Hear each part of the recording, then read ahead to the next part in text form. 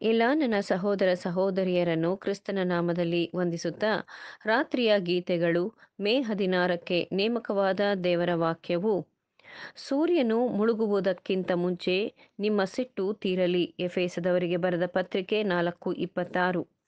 ಒಬ್ಬನು ಎಷ್ಟೇ ಪ್ರಚೋದನೆಯನ್ನು ಹೊಂದಿದ್ದರೂ ಆ ವಿಷಯವನ್ನು ಆದಷ್ಟು ಬೇಗ ಇತ್ಯರ್ಥಗೊಳಿಸುವಂತೆ ಅವನು ನೋಡಿಕೊಳ್ಳಬೇಕು.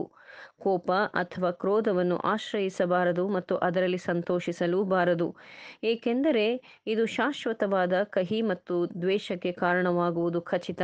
ಕೋಪ ಎಂಬ ಪದವು ಕ್ರೋಧದಷ್ಟು ಪ್ರಬಲವಾದ ಪ್ರ, ಪದವಲ್ಲ ಎಂದು ತೋರುತ್ತದೆ. ಅಪೂರ್ಣವಾದ ಬಿದ್ದು ಹೋದ ಮನುಷ್ಯರಲ್ಲಿ ಕ್ರೋಧವು ಆಳವಾದ ದೃಢವಾದ ಮತ್ತು ಶಾಶ್ವತವಾದ ಕೋಪ ಉಳ್ಳದ್ದಾಗಿ ತೋರುತ್ತದೆ. ಅದು ಅಸಮಾಧಾನ, ಪ್ರತೀಕಾರ ಸಂಗತಿಯಾಗಿದೆ. ಕೆಟ್ಟ ಮಾತು ಎಂಬುವುದು ಅಧಿಕ ಪರಿಷ್ಕೃತ, ಅಧಿಕ ಸೂಕ್ಷ್ಮವುಳ್ಳ, ಅಧಿಕ ವಂಚನೆಯುಳ್ಳ, ಅಧಿಕ ದುರುದ್ದೇಶಪೂರಿತವಾದ ವಿಷಯವಾಗಿದೆ. ಅನೇಕ ಜನರು ತಮ್ಮ ಗುಣಲಕ್ಷಣದಲ್ಲಿ ಎಷ್ಟು ದುರ್ಬಲರಾಗಿದ್ದಾರೆಂದರೆ, ಎಷ್ಟು ಸಮತೋಲನವಿಲ್ಲದವರಾಗಿದ್ದಾರೆಂದರೆ, ತಮ್ಮ ದೈನಂದಿನ ಜೀವನದಲ್ಲಿ ಬಂಗಾರದ ಪ್ರಮಾಣವನ್ನು ಸರಿಯಾಗಿ ಅನ್ವಯಿಸುವುದನ್ನು ಕುರಿತು ಅರಿಯದಿದ್ದಾರೆ. ಅವರು ಇತರರ ವಿಷಯಗಳನ್ನು ಹೇಳುತ್ತಾರೆ. ಆದರೆ ಇತರರು ತಮ್ಮ ವಿಷಯದ ಬಗ್ಗೆ ಹೇಳುವುದನ್ನು ಕೇಳಲು ಬಯಸುವುದಿಲ್ಲ.